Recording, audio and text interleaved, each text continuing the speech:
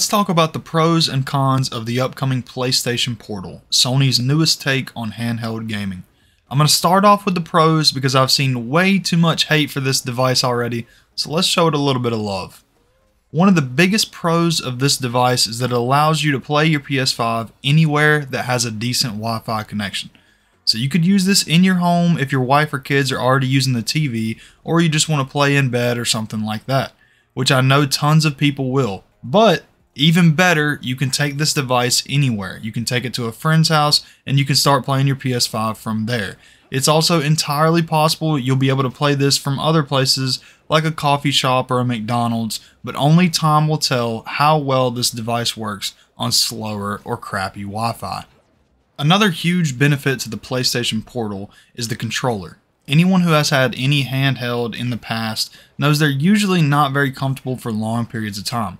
And even though some of them aren't terrible, I think we can all agree that using a straight up PS5 controller split in half is probably going to be the most comfortable handheld device ever.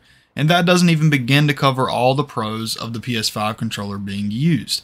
It will have the full functionality of a PS5 DualSense controller, meaning the adaptive triggers and haptic feedback is all going to be there.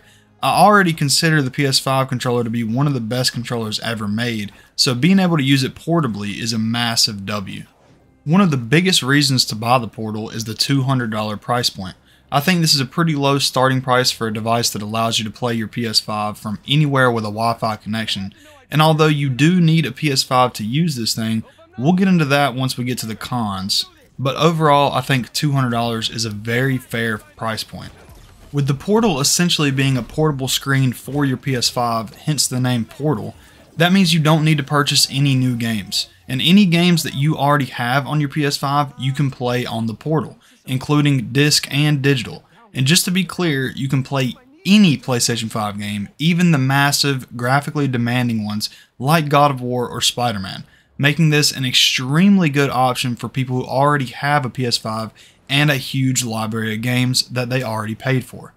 Here are some more small pros that I can list off quickly before we get into the cons. Since your PS5 is running the game, it means this device will be extremely lightweight considering there's really not much hardware inside of it.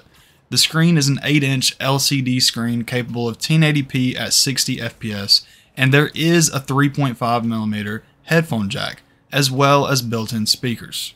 These are all pros in my opinion. Alright, I think we went over most of the pros of the Portal, now let's talk about the cons.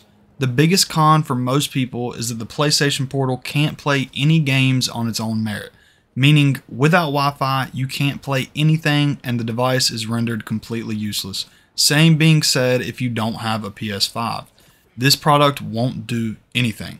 So I want to emphasize that if you don't have a PlayStation 5, do not buy this product unless you plan on buying both of them at once, and then you are looking at a hefty price tag of $700. Another letdown is that this device doesn't have traditional Bluetooth for some reason. So if you don't want to use the speakers or you don't have headphones to plug into the headphone jack, then you'll have no choice but to buy Sony's new wireless earbuds or headset, which is lame, but at least they gave us the headphone jack, otherwise that would have been a massive L. What I would say is the biggest con for me personally is that since the device is a streaming device and it only works as well as your Wi-Fi does, although you could technically play something like Call of Duty, it probably wouldn't be very enjoyable because there's going to be some kind of delay no matter what. So, if you plan on playing anything competitively, I wouldn't recommend this device for that purpose at all. Another con is that even if you are using this at your house, you will still have to connect via Wi-Fi.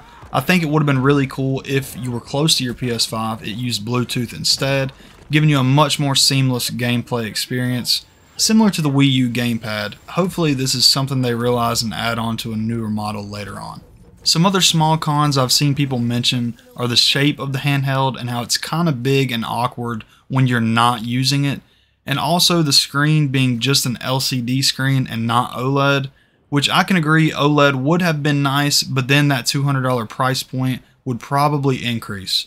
It would have also been nice if you could just straight up use it as an extra controller when your friends are over or something, but it doesn't look like that's possible, at least not right now.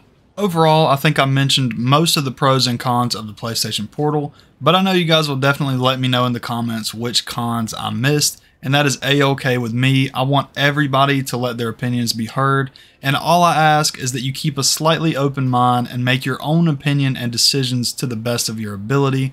I do want to say that I think the PlayStation Portal is a great option for a lot of people out there, and I'm really looking forward to trying it. It releases on November 15th, and I'm going to do my best to get my hands on one and continue to give you guys the best content that I can. If you did enjoy the video, please make sure to drop a like and subscribe for future content. And as always, peace.